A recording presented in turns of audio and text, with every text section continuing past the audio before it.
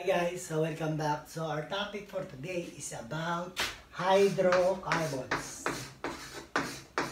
Hydrocarbons. Hydrocarbons. So what are hydrocarbons? Ano raw yung hydrocarbons? By looking at the word, tingnan mo na lang yung word. So they are compounds made up of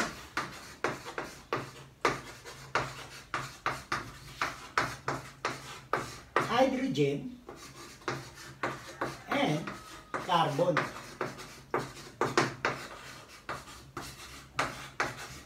Ayan lang, dalawa lang oh. Hydrogen at saka carbon. So Tagalog ang gagamitin ko ngayon kasi English na nosebleed yung iba. So, Tagalog muna tayo. So hydrocarbons, compounds made up of hydrogen and carbon. There are three types of hydrocarbons. Tatlo yan, guys. Tatlo lang. One, two, three. Oh, game. The first one is called the alkanes.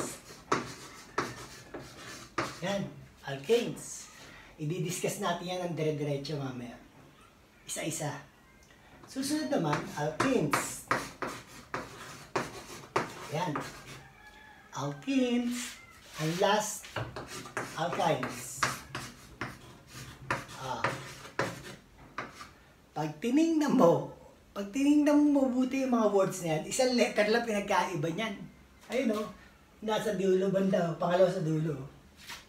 Ay, mali pala, nagkamali ng tingin. Eh, ta, ta, ta. Ayun o, pang, pang-apat na letter. Ayun o. Ayun o. So, yan ang magiging palatandaan mo. Ano ba yung alkanes? Sing, they are made up of single bond carbon to carbon.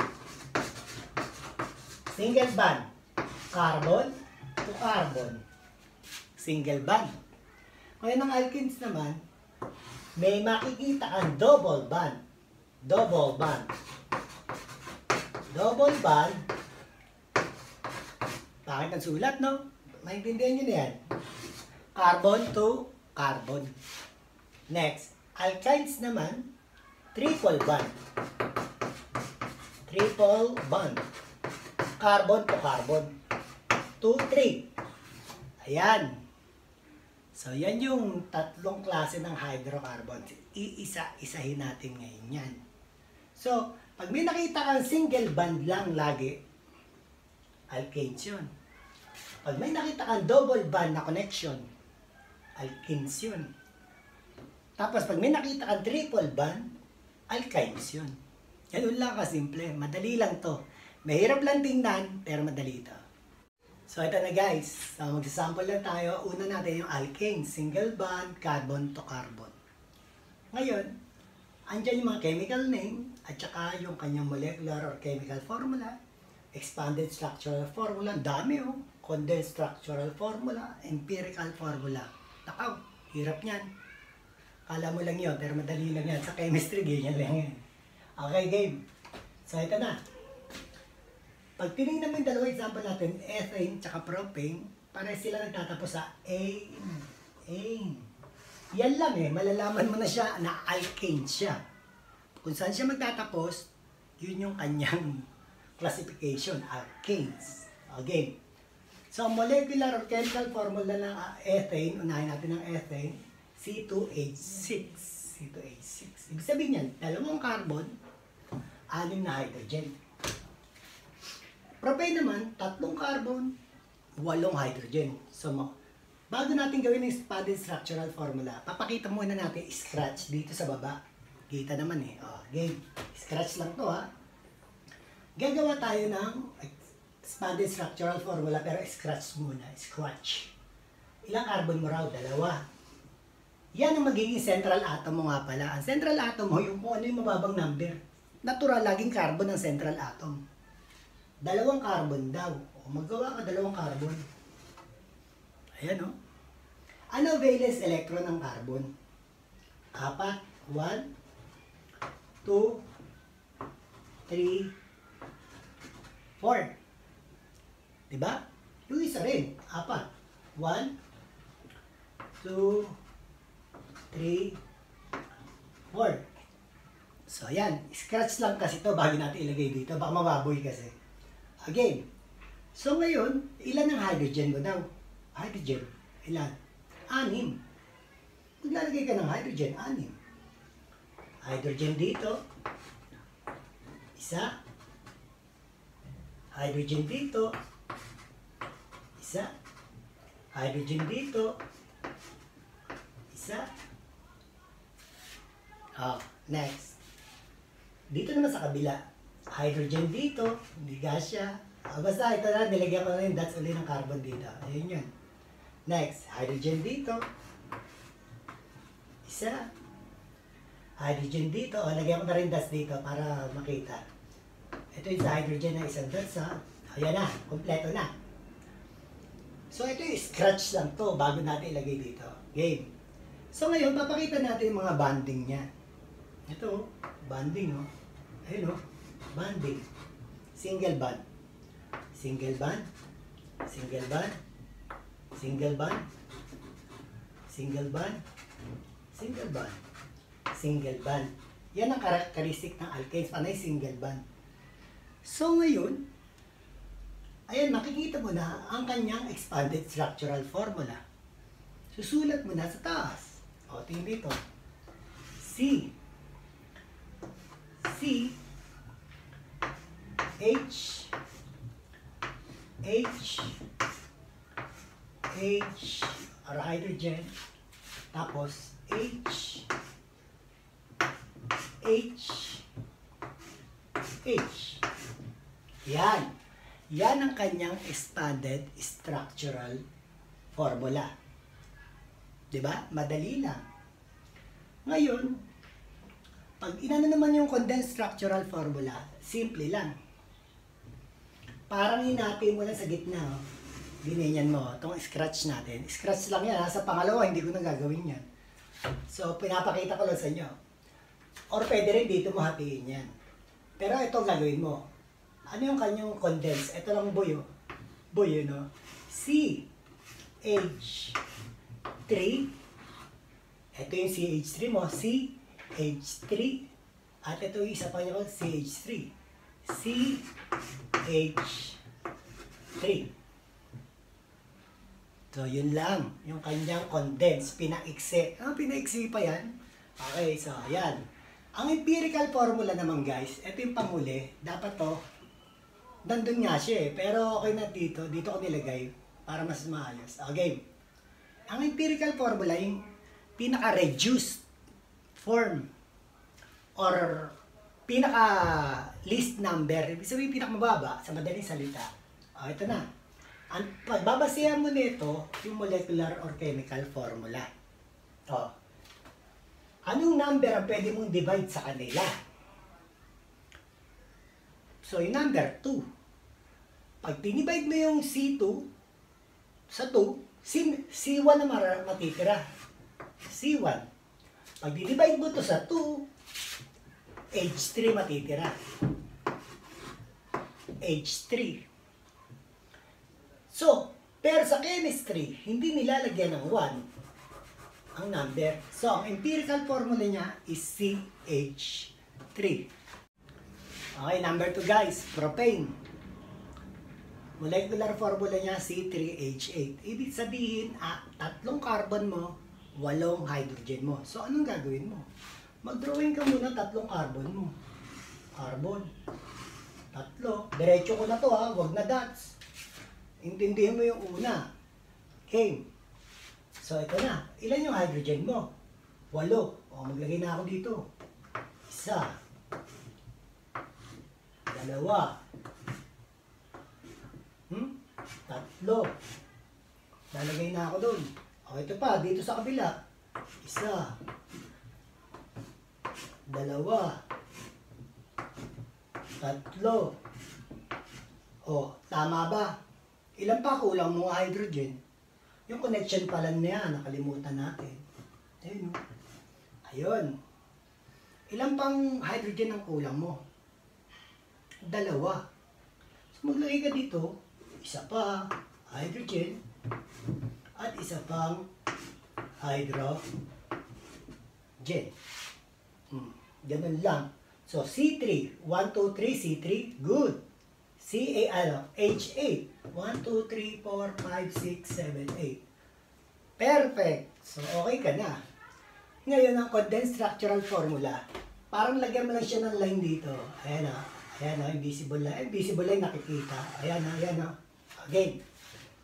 Condensed. CH3.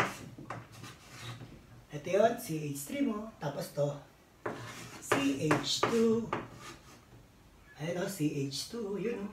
Tapos CH3. Ngayon, empirical formula. Anong number ang common sa kanila? Wala. Pag walang common sa kanila, kung ano yung molecular formula, hindi mo siya kayang i-divide. So, yan na rin ang kanyang ano, C3H8. Hi guys, insert muna. So, show out tayo. Show out. Show, show out ka pala kay Ralph Daniel Gutierrez. Yan, dati ko student. Bite niya, good boy. Next, kay Joe Salud. Yan, lagi natin, lagi nagsishare yan ng mga videos ko. At kay Riza Santos, yan. Patagal ko na student yan, pero supporter ko pa rin. Thanks, guys. Okay, alkenes naman tayo, guys. Double bond, carbon to carbon. Example natin, ethene tsaka propene. Pangalan pa lang, ENE, alkenes, propene, ganun no? Kaya madali mo yan ma-determine yan. Molecular formula ng ethene, C2H4. Double bond ang usapan. Ilan ang carbon mo raw? Dalawa. Drawing ka dalawa. C, C. May double bond ka raw, connection. Ngayon, ang carbon, apat ang valence, di ba? Ilan ang ilalagay mong hydrogen dito? Apat daw eh. So, ang gagawin mo lang, lagyan mo lang dito, isang hydrogen dito, isang hydrogen dito. O, ngayon, etong isa, gagawan mo rin ng isang hydrogen dito, isang hydrogen dito. Actually, pwede rin yan pag ano, no, di- dito. Parang ano yung, pwede rin ganito guys, oh, papakita ko na sa inyo. Pero higher chemistry yan. Ito talaga shape niya. Tuturuan ko muna kayo ng basic. Ayan o, C, double bond, tapos pag ano no, H, H. Pwede rin yan, pwede rin yan, pero hindi yan ang tuturo ko muna. Yun muna ang basic. Ayan ah.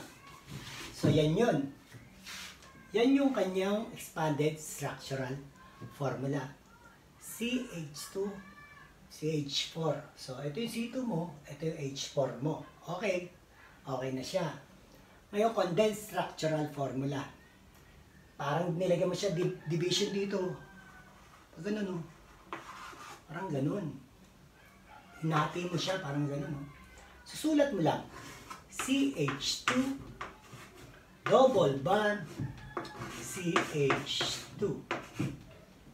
Ayan. So, yan yung condensed structural formula niya.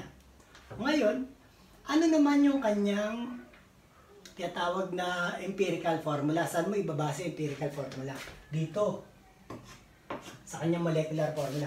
Ano pwede mo i-reduce pa yan? Pababain mo pa. Pwede mo i-divide yan sa 2. So, maging sagot mo, C1, pag dinivide mo yun sa 2, H2. Pero dahil sa chemistry, hindi sinusulat na 1, CH2 lang ang kanyang empirical formula. So ito guys, propene. C3H6. Ang ibig sabihin niyan, tatlong carbon, anim na hyd- hydrogen. Tuwa ka tatlong carbon. Isa, dalawa, tatlo. Usapang double bond, maglagay ka double bond dito. Sa unahan. Ilan pa kulang na hydrogen ito? Dalawa. Isa, dalawa. Yan ang connection. Next. Heto naman, may connection ka ngayon single bond dito. Ilan ang kulang nito? Tatlong hydrogen. Isa, dalawa, tatlo. Ngayon, 1, 2, 3, 4, 5. Kulang ka pa ng isa. Saan maglalagay? Itong carbon mo, anim pa lang na electrons yan. No? kulang ka ng isa. Pwedeng sa taas, pwedeng sa baba. O dito na lang sa taas. O. Yun o. So, anim na siya. So, tama na siya. Ah, next. Parang lagyan mo ng lines ngayon yan. Pag ganun. Again. Ano yung condensed structural formula niyan? Ito yan. CH2 double bond CH tapos CH 3 ayan CH3 oh yun lang ganun lang ito yung CH2 ayun oh CH ayun oh CH3 ito okay next ano yung empirical formula ang empirical formula guys ito yung lowest term nga, di ba? Divide mo to sa common number niya, which is 3. So, pag dinivide mo yan, C1H2. C1H2. So, sa chemistry, tinatanggal ang 1, so CH2 rin siya. So, pareha sila oh, ng empirical formula. Next guys, alkynes. Triple bond, carbon to carbon. Example, ethine, propine. Sa pangalan pa rin, no? Pine, no? Alam mo na na alkyne siya. So, example, molecular chemical formula ng ethine, C2H2. So, C2H2, ibig sabihin, dalawang carbon, dalawang hydrogen. Drawing ka muna, dalawang carbon. Triple bond ang usapan dito. Isa, dalawa, tatlo. So, lalagyan mo ngayon ito ng isang hydrogen. Ayan. Ilan pa kulang nito? Isa rin. Ayan. Ngayon, para makuha mo condensed structural formula niya, para ka naglagay lang ng division, no? parang ganun. No? Parang ganun. O, isa-isayin mo yan. O, CH. Triple bond. CH. Hmm. Ganun lang yan, guys. Madali lang yan. Oh. Ito pa. Empirical formula niya naman. Tingnan mo tong molecular formula niya. Parehas 2. Pwede mo i-divide sa 2 yan. Kasi lowest form to eh. So magiging sagot mo, C1, H1. Dahil wala sa chemistry ang 1, tanggal yun. CH lang ang kanyang empirical formula. Okay na? Next. Propine. Propine naman. Tatlong carbon, boy. Tatlong carbon. Apat na hydrogen. Drawing mo na tayo tatlo. Isa, dalawa, tatlo. So ito, may tatlong lines ka. Triple bond nga usapan dito eh. Dito, isang hydrogen. Ayan. Ang liit ng hydrogen ko, lakihan ko, para maganda. Ayan. So, okay na siya.